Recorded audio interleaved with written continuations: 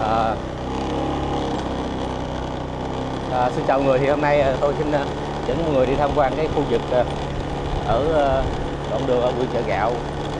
Không biết cái đoạn đường này nó nó, nó tên gì nhưng mà nó tiếp giáp với lại khu vực à, thành phố Mỹ Tho.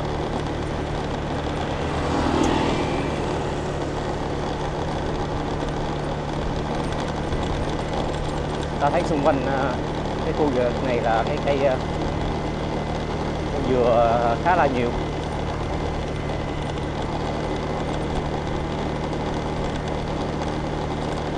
Sau hơn ờ, 20 năm thì cái khu vực này nó phát triển khá là mạnh. Hồi xưa thì cách đây 20 năm thì ở nhà, ở khu này thì toàn bộ là thấy là phần lớn là nhà lá không nhiều mà hầu hết là bây giờ cái khu vực này là họ đã lên cái nhà này, nhà tường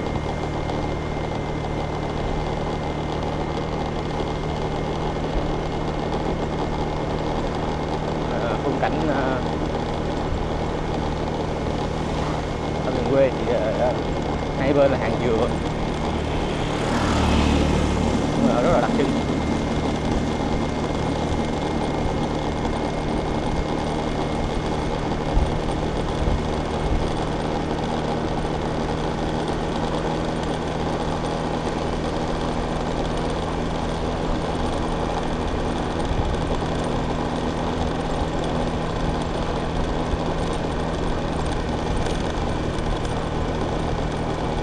à, ta thấy ở phía trước thì ờ, có cái nhóm người ờ, họ lấy ờ, có xe rùa, họ chạy là mấy cái nhóm người đó là họ chở chở dừa rồi họ hái dừa.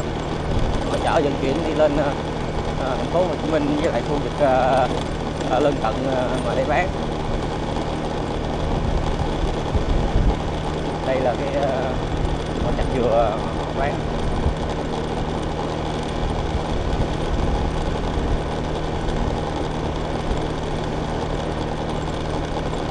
Không khí miền Tây nó nhìn nó yên bình lắm.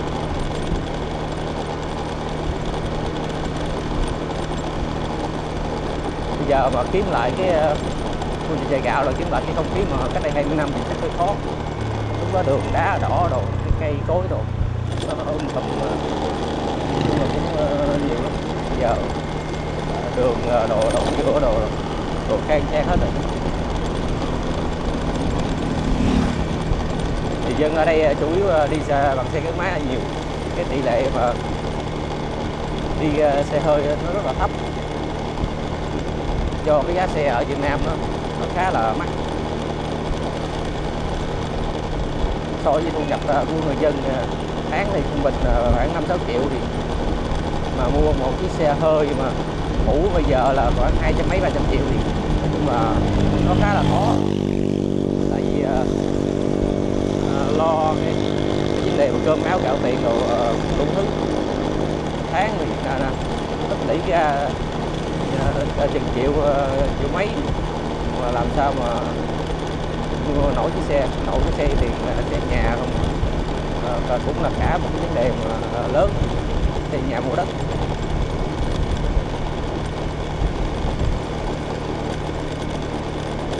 Ở miền quê thì nó có cái họ thường họ, trồng ờ, bông ờ, bông ờ, mà thấy ở khu vực này thôi thì họ, trồng cái ờ, hoa dừa với lại bông trang đồ cũng nhiều ở bên đây thì đấy tới cái khu vực họ trồng thanh long đây có bữa nào thì chở mọi người đi coi tham quan cái khu vực họ trồng thanh long lúc mà trái chín đó.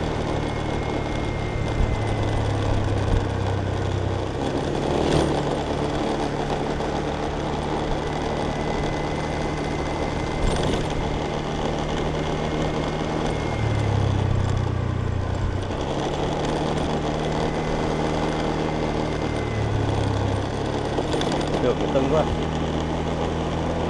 họ để cái cái ờ, ờ, giảm tốc từng cái máy nó dịch dịch cực khó nhỉ.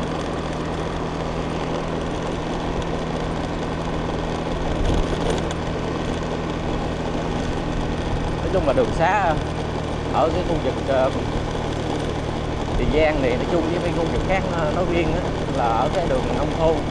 Thì phần lớn là cái nhựa nó đổ cái lớp mỏng mỏng như vậy mà nó không có đổ dạng ờ, như là nó cao cấp. Thời gian sau thì nó không cũng xuống cấp. Không biết là nguyên nhân sao mà do chắc là vấn đề do thiếu kinh phí hay sao. Tuy nhiên thì ờ, có đường nhựa chạy thì ờ, làm tốt lắm rồi.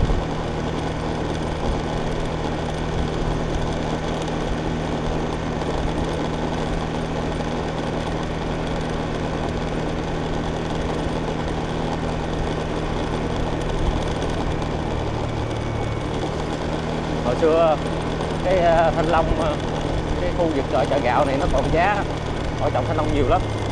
Rồi sau này cái thanh long nó xuống giá ờ, họ chặt à, đi khá là nhiều.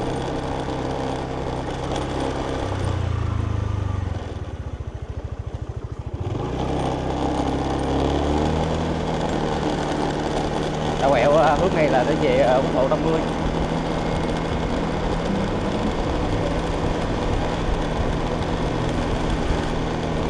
Ờ, quay ờ, như vậy thì để cho mọi người ờ, ở xa xứ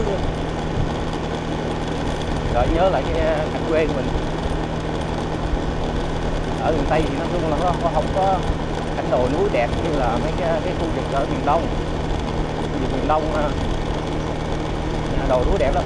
Ở miền Tây thì đặt sông thì chủ yếu là mấy cái dừa. Nó, nó bên ở bên đây nó họ trồng à, cái à, bưởi này.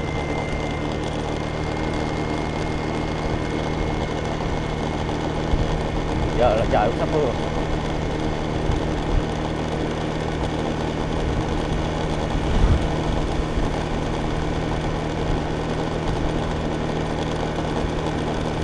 tạm thời quay như đó thôi nếu mà mọi người à, có ủng hộ tiếp thì quay cho mọi người xem trong lúc mà vừa đi làm ờ, vừa quay cảnh vậy này có cái cảnh nào mà ở ờ, Tân Phước á?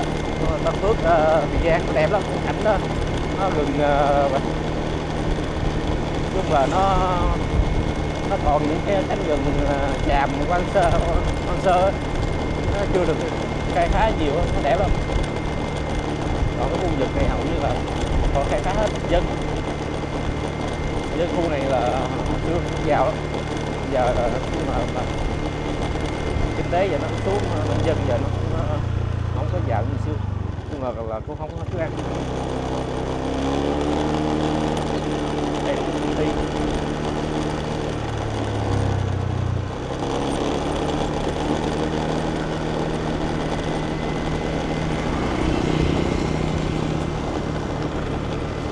Rồi à, kết thúc à, cuộc hành trình ờ, bữa nay.